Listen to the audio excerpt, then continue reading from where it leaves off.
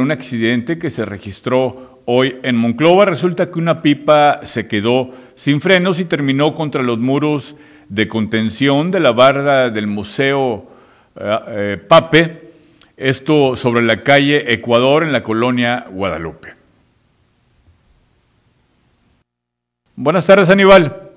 Tardes, Juan Ramón, y muy buenas tardes a nuestro estimado auditorio. Pues como bien lo, si lo mencionas, Juan Ramón, hace algunos eh, momentos ocurrió este percance ahí en la calle Ecuador al descender hacia el Boulevard Harold R. Pape, eh, como bien también lo citas, pues eh, aparentemente esta pipa pues se quedó sin frenos y pues con la habilidad del chofer de la, unidad pues sí previno que ocurriera una desgracia, que ocurriera una tragedia un percance mayor al decidir, bueno, al haberse quedado sin frenos, eh, pues eh, impactarse con las eh, barreras de contención de ahí del Museo Papé, precisamente pues para no llegar hacia el Boulevard Harold R. Papé, la principal vía de, la, de nuestra ciudad.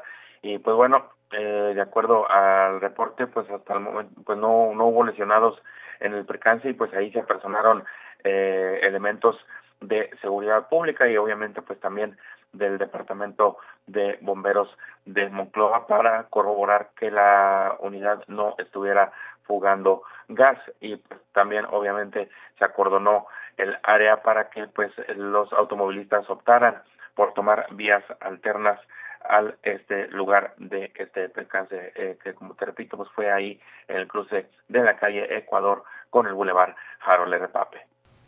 Aníbal, gracias por tu información. Muy buenas tardes. Buenas tardes.